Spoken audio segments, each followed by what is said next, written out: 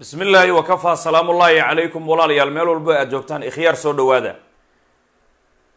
Ciidamo iyo saraakiil loo qaaday dalka turkiga ah.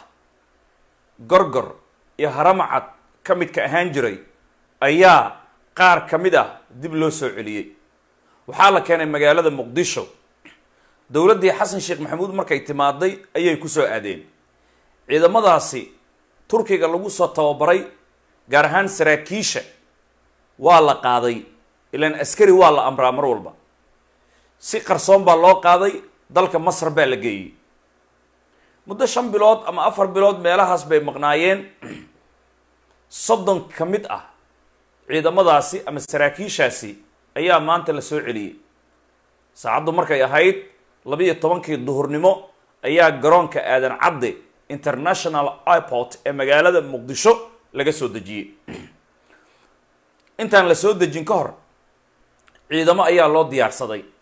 Ciidamada waxaa laga soo kala qaaday wasaaradda gaashaandhigga cisbitaalka xoogga milatariga ee ku yaalla tarabuunka waxaa laga soo qaaday madaxtooyada ee xerada generaal gordon ayaa ciidamo laba laga soo kala qaaday. Ciidamadaasi waxaa hogaaminayay saraakiisha magacyadooda aan hadda kuu sheegayo gaashaanle dhexe xiirey gaashaanle cabdulle. Cabdalle. Gaashaanle maxamuud.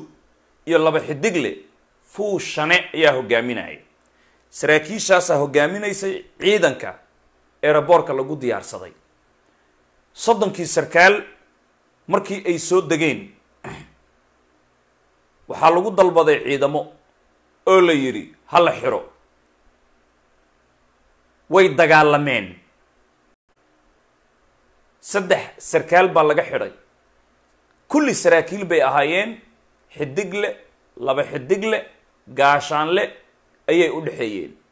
Saraakiil bay wada ahaayeen soddonka soomaali oo dhanna way isugu jireen.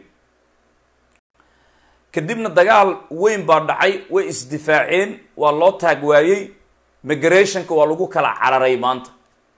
Hadda haddaan been sheegaayo waxaa weeye migrationka dadkii joogay ee kala cararay clibkan way daawanayaan. Migrationkii marka lagu kala cararay nimankii taag loo waayey oo isdifaaceen saraakiisha saddex ka mid oo laga xiray markii dambe waa laga furay. Waxay dheen nimayow waad gar daran tihiin. Annagu saraakiil baan nahay. Sharciga seerjitada sarkaal lama xiro. Waxaana dhihi kartaan amar ku fuula amar amar baabuurka fuulaana dhihi kartaan laakiin inaad nagu soo boodaan oo katiinad aad nagu dhejisaan annagu ma dambiilayaal baan nahay. Maxaa naloo macnihii katiinadna loogu xidhayaa why? Sharciga saraakiisha sidaas ma ahan. Markii dambe waxaa lagu yidhahaye waaya waa idinka qaldannay. Raalli ahaada baabuurta fuula. Iyagoon xidhnayn oo isdifaacay baabuurtii fuuleen. Wasaaradda gaashaandhiggaa la geeyey. Wasaaradda gaashaandhigga marka la geeyey koodkaa laga garaacay biraa lagu garaacay wax allaaliya wixii macnihii askartu ay gacanta ku hayeen ayay ku garaaceen. Laba labo ayaa loo garaacay. Saddex saddex inta meel la geysado la geysay. Sidii dameerihii khaldamay ama amar diiday oo kalea loo garaacay. Daqarka iyo dhiigga lafaha laga tumay saraakiishaasi idaacadaha ma idiin sheegeen soomaaliyey aan idin weydiiyey. Haddaayna waxaan idiin sheegnay in caruurihii ay kala carareen. Waalidiintooda loo diidanaa laga xaday. Laakiin hadda warkii wuu soo baxaya aniga waxaan idiin sheegay in ilmihii cararay oo sariiro ku hoos jira inaan la hadlay aniga markaan live soo galayo. Laakiin hadda waxaa laga yaabaa baraha bulshada barnaamijkaasi inuusan qarsanayn. Oo weliba dadkii shalay ciidamada badsaday oo abgaal cali gaaf xasan sheekh lafta hoose maanta in ay macnihii leeyihiin kan madaxweyne maaha soomaalina ma hogaamin karo. Ilaahay madaxweynaha noo keenay inay leeyihiin. Dhegiina waa ku maqlaysaa hadda. Marka isku soo wada duub. Saraakiishii lafaha laga tumay. Waxbana lama weydiinin. Waxba lama warsanin. Iyagoo wada dhiigaaya xabsiga gacan ku dhiiglayaasha wasaaradda gaashaandhigga ayaa la geliyey. Xabsigee xabsiga gacan ku dhiiglayaasha sida normalka ah. Wixii ka sarreeya adiga sarkaal haddaad maqasho sharciga seerjitada ma qabo in la in la xiro. Iskaba dhaaf in la katiinadeeyo iskaba dhaaf. In la garaaco iskaba dhaaf. Waddaa loo maraa. Sarkaalka haddii la xiraayo. Ko seerjitada sharcigeeda wuxuu qabaa sarkaalku haddii dembi uu gala xataa waa la reesteeyaa. Ilaa ay maxkamadda ay ka xukunto. Reesta wax la yidhahdaa jira. Reesta waxaa weeye kama soo bixi kartid xerada oo kale. Reesta waay. Laakiin sarkaal la xiraayo haddana la garaacayo waxaa taqaana dowladda damuljadiid meeshaan wax ma jiraan. Ani runtaan idiin sheegaya. Seerjitada waxay qabtaa haddii sarkaalkan dembi uu galay dembiile uu yahay intaan la xirin ka hor waa in derajada ay ka qaadaa maxkamaddu. Waa in macnihii derajo laga qaadaa laga rifaa. Derajada marka laga rifo markaas kadib ayaa xabsi la gelin karaa sarkaalka. Laakiin derajada ixtiraamka derajada ma ahan. Hadda seerjitada dadka macnihii yaqaana sharcigeeda hadda way daawanayaan. Sarkaal lama xiri karo adduunka. Waa la reesteeyaa generaal hebel waad aragtay waa la reesteeyey sarkaal hebel waa la reest adduunka saas waay marka saraakiishii waa la garaacay lafaha laga tumay xitaa markii la garaacayay waxaa ka naxay ciidamadii lagu dalbay ee garaacayay askari waa inuu amar qaataa eh. Ciidamadii garaacayay baa naxayba sidii loo tumay. Soomaaliya oo dhan bay isugu jireen qaranka soomaaliyeed. Waxaana la sheegaa ciidamadaas saraakiishaasi in guddoomiyihii hore ee baarlamaanka maxamed mursal macnihii kuwo uu qoray ay u badnaayeen na waa la sheegaa laakiin soomaaliya oo dhan wey saraakiishii xabsiga gacan ku dhiiglayaasha wasaaradda gaashandhigga ayaa lagu xiray iyagoo daqran wada dhiigaaya meel walba bararsan lafaha laga jabiyey. Waxbana lama weydiinin war maxaa nagu dilaysaan? Jawaab male war maxaa dhacay? Jawaab male haddana haddaayay galabtii waa la soo bixiyey waa la rusheeyey. Banaanka inta la keenaa la rusheeyey. Rushayn waa taqaanaa waa la rusheeyey biyaa lagu rusheeyey waxna looma reeban. Garaacid. Saraakiishaasi soddonka ah soomaaliyeed. Mayga iyo maxaaga isugu jira. Hadda waxay ku jiraan wasaaradda gaashaandhigga qeybta gacan ku dhiiglayaasha sharciga ay ku yihiin lama yaqaan. Sharciga lagu dilay lama yaqaan. Maxaa loo cuskadaa la yidhi.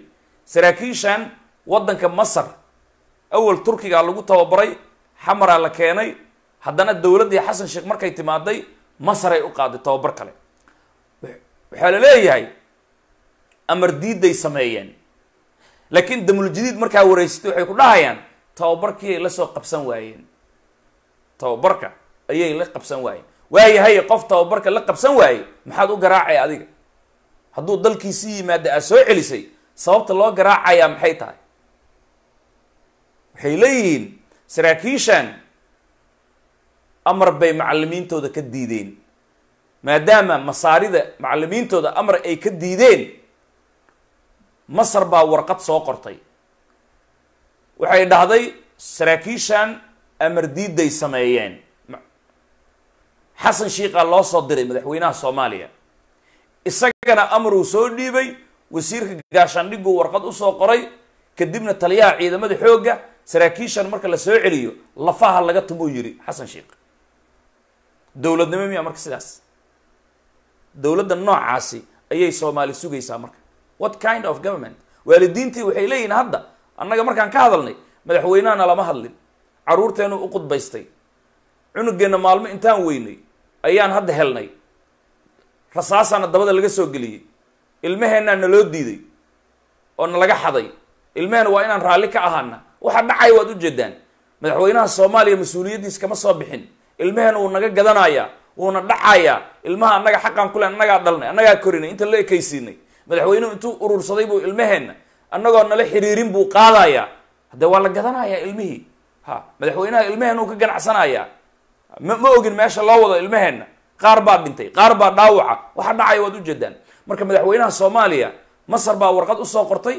Saraakiishan waxaa la yidhi ma arkaysa amar diiday sameeyeen saraakiishii soomaaliyeed oo isagu madaxweynaha u ahaa iyagoo waxba loo sheegin lala hadlin waxba la weydiinin eeraboorka waxa weeye tan lagu dhigay waa kuu sheegay wasaaradda gaashaandhiggaa la geystay laf iyo lud waa la jebiyey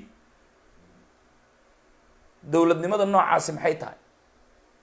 Soomaali baan weydiinaya waxaa laga yaabaa sarkaalkaasi inuu adeerkaya qof walbana saraakiishaasi macnihii saraakiishu way ku leeyihiin.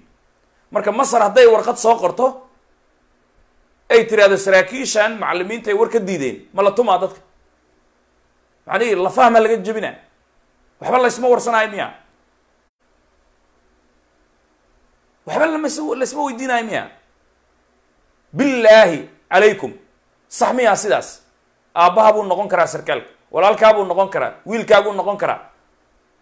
Maxay tahay sidaan? Maxaa saraakiisha loo garaacaya? Why? Iyagoo waxba loo sheegin weliba aniga waxaa igu maqaala la ii sheegay saraakiisha inay diideen doofaar in la siiyey. Xerada doofaar in lagu siiy ay diideen.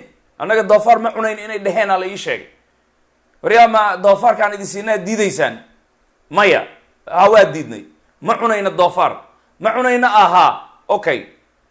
Warqadaa laga qoray amar diido xasan shiikaa loo soo qoray waxaa layihi saraakiishaas macalimiintooda ay amar ka diideen diyaarada la soo saaray eeraboorka waxaa loogu diyaariyey ciidan iyo saraakiil. Hala qaqabta hala xiro way isdifaaceen taktiigay yaqaaneen haddii ay dagaalameenna migrationka waa lagu kala cararay maanta. Saacadda markay ahayd laba iyo tobanka duhurnimo. Kadibna waa idinka qaldanaya la yidhi keliya baabuurta fuula. Baabuurtii ay fuuleen. Wasaaradda gaashandhigga marka lala tegay tan lagu dhigay ilaahay uu ogyahay sidii dameerihiyaa loo garaacay sidii dameerihii waxaas idaacadaha ma idiin sheegayaan. Intaan hadda macnihii dhawaaqaysa xataa lama ogolayn in la sheego. Waayo waalidiin us ilmaha waalidiinta lama hadli kartaan al waalidiin waalidiinta lama hadli kartaan. Shib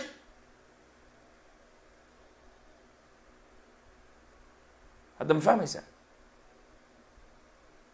waalidiin ma la hadli kartaan dhibkiina uma sheegan kadhaan tan lagu dhiga waa la ogyahay. Marka dawladda aan sugaynaa waa noocaasi soomaaliyey. Cawada maanta adiga haddii ay rabaan way ku qalanayaan mana laga hadli karo. Marka hadday askar fiiri maxaana loo raacanayaa? Turkigaa lagu soo tababaray saraakiishan. Tiiba turki waayo waa ciidam waxaa lagu tumayaa nabad iyo nolol.